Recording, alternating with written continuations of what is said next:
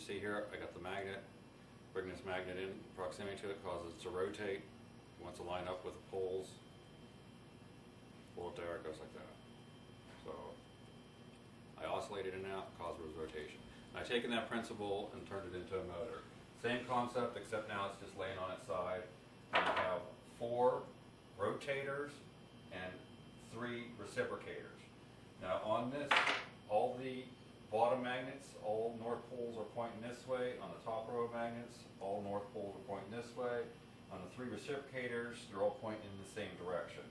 So if you oscillate this, causes rotation, or if you rotate it, it causes oscillation back and forth. So it's similar to a cog. It takes rotation, turns it into reciprocation, or it takes reciprocation and turns it into rotation. Now what I'm using for my switch to switch it in and out is just a speaker, and I got have standard DC power coming into it.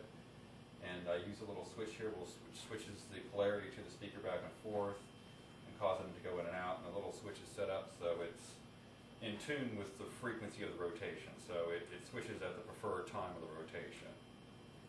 Okay? Using a uh, Radio Shack plug, this is, I have it set on 12 volt, it's 300 milliamps or 0.3 amps. Plug this in.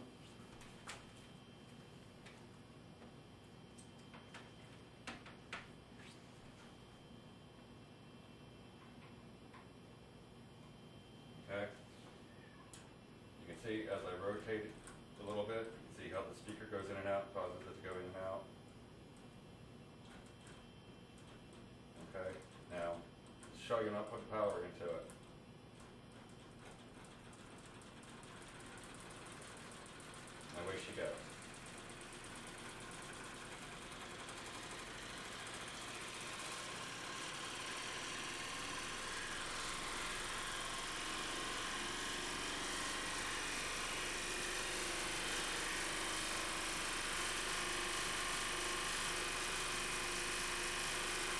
Slow it down a little bit, get a better idea what it's doing.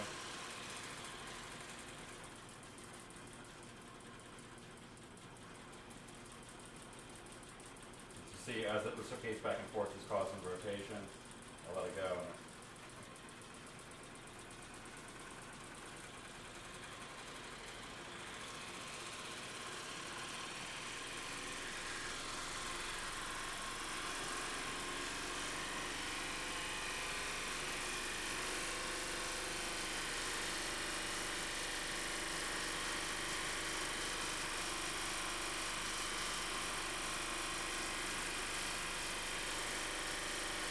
Turn off the power to it. There's no power, but it's still it's causing its, uh, the flywheel action is causing the reciprocation back and